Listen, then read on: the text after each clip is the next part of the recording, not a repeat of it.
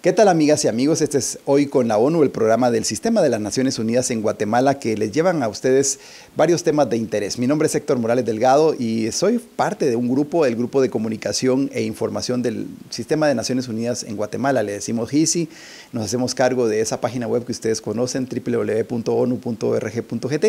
También estamos acá en Hoy con la ONU Radio y Hoy con la ONU Televisión gentil cortesía de TGW y de Canal de Gobierno. Por eso es que podemos compartir aquí cada semana con ustedes los avances que tiene Guatemala en su desarrollo. Les recordamos que estamos en el 2017, es el año del turismo sostenible para el desarrollo, ese turismo que piensa en el futuro, en las nuevas generaciones y que además da prosperidad a las comunidades que más lo necesitan. Ese es el turismo que se está proponiendo de la Asamblea General de las Naciones Unidas para este año 2017.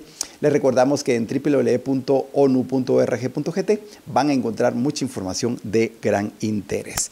Para comenzar el programa de hoy, quiero invitarles a ver este reporte que puede ser muy interesante para ustedes, sobre todo en esta fecha, en estos días en los cuales necesitamos mucho de ayudar, de pensar no solo en nosotros, de pensar que juntos podemos lograr grandes cosas. Veámoslo.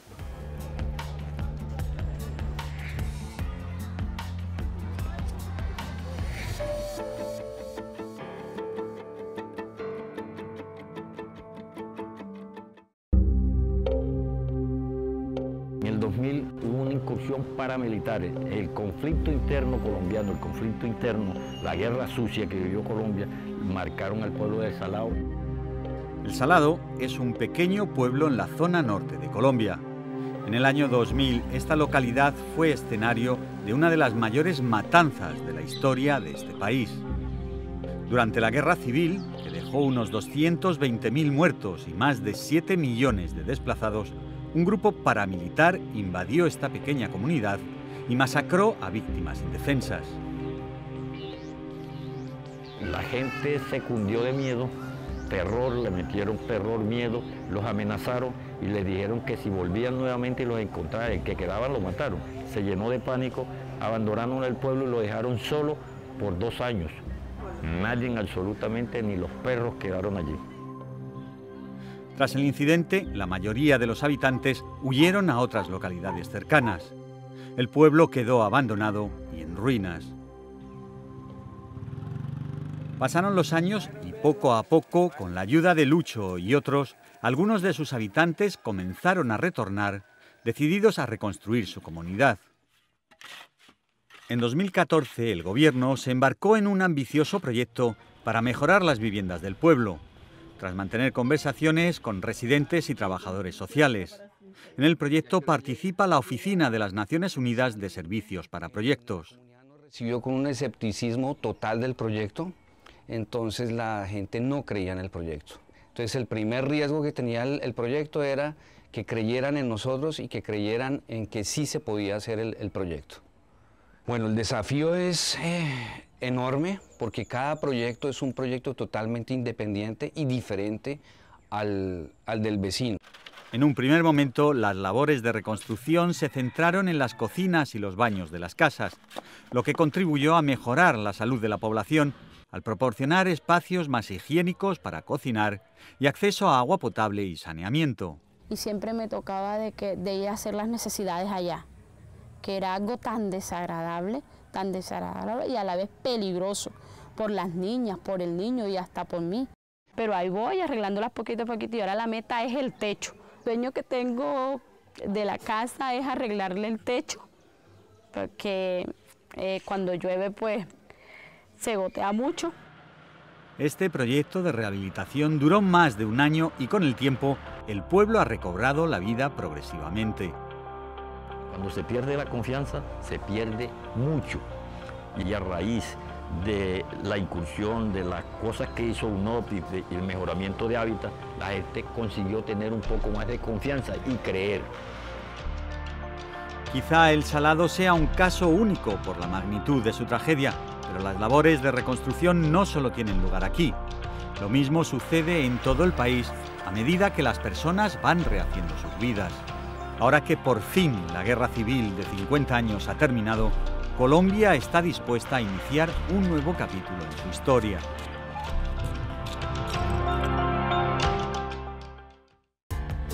Este reportaje ha sido producido por Hisae Kawamori y UNOPS para las Naciones Unidas.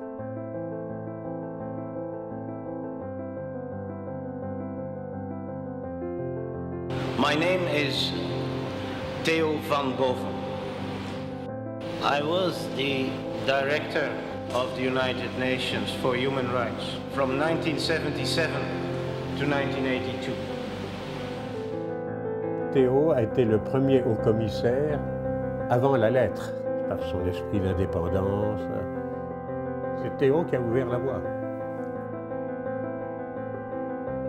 It was his great breakthrough that he decided to act and, in some instances, to speak out publicly against gross violations of human rights. There is a tendency, at that time at least, that the UN should remain low key. Some felt that I was too outspoken.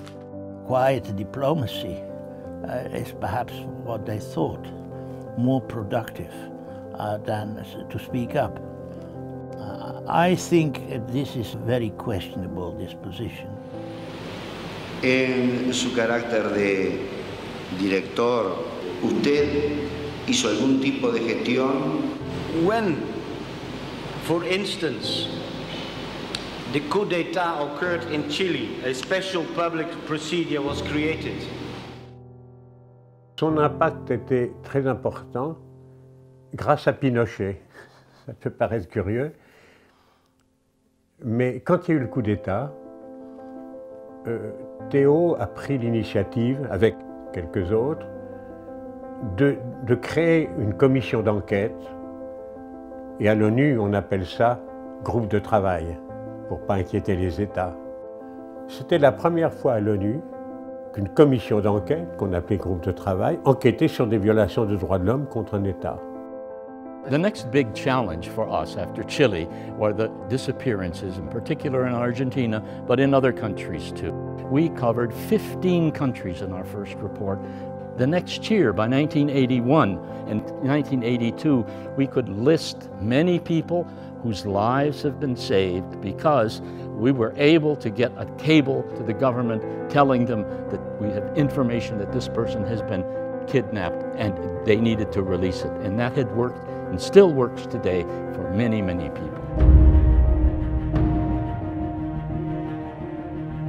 Madres, no abuelas, uh, they, they, were very visible and well known, and as a group of committed women, I think, who were directly involved, that, that had a great impact on public opinion. Theo van Boven nos defendió nos apoyó, se solidarizó con nosotros, luchó tanto. Era costumbre del matrimonio Van Boven recibirnos a nosotras que estuvimos en la casa de ellos. He was by far the greatest human rights leader the UN has ever had. For the first time, an important person in the UN appeared to say, listen, in Argentina something terrible is happening. We have to pay attention to that terms of what was the struggle to restore democracy and human rights in Argentina, that was a very important point against the dictatorship. Efforts were made in the Commission on Human Rights in 1979 to establish a working group on disappeared persons, but this was blocked by Argentina and others. Now it was a year later uh, that uh, this initiative was successful and so it, the working group was established in 1980, rather late, but better late than never.